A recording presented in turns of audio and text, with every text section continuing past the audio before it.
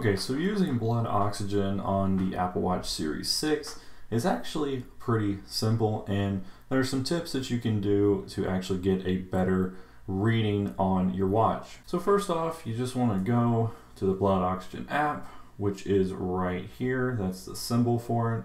And you just simply tap on that. Now, if you open this app for the first time, what it's going to look like is it's actually going to tell you a few tips and tricks on how to get a more reliable and accurate reading. But basically what it tells you is you want to make sure the watch is good and snug against your wrist. So you may want to adjust your strap a little bit and tighten things up.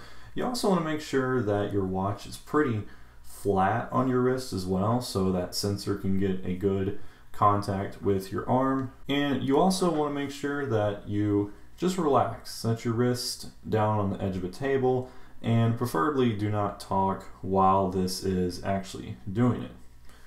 So we can go ahead and just go in here and we can hit start.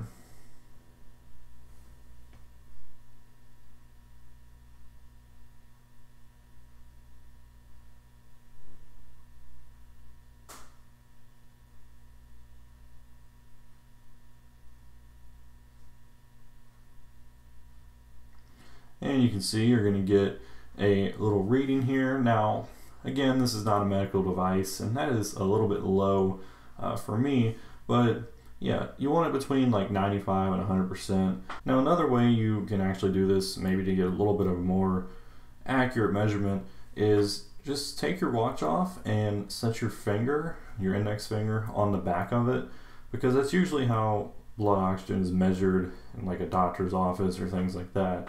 So that might give you a more accurate uh, reading, but most of the time, if you just keep this thing snug and you keep, you know, your wrist flat, it gives you a pretty good measurement. I guess I can try the actual uh, different way here. So we'll go into blood oxygen.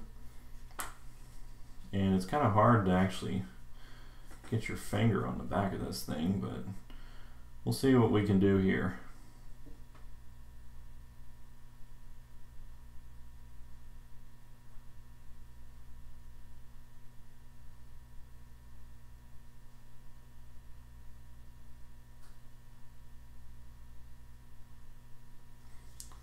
Actually kind of worked there, so 97%. My last reading on my wrist was 98, so that's probably about right. Uh, but yeah, that's just a quick demo of the blood oxygen sensor on the new Apple Watch Series 6. So what do you guys think about this? Is it a nice feature? Is it a good feature to have here? Uh, how often you think you're going to use it? This does take periodic readings throughout the day, so that's pretty nice. Uh, but again, your watch could be uh, in different positions throughout the day, so those readings might not be accurate. But overall, when you're taking the test exactly how it tells you to do it, there's usually no problems whatsoever. But anyways, just a quick demo of blood oxygen on the Apple Watch Series 6. Hope you all enjoyed. Thanks for watching as always, and I'll catch you all on the next one.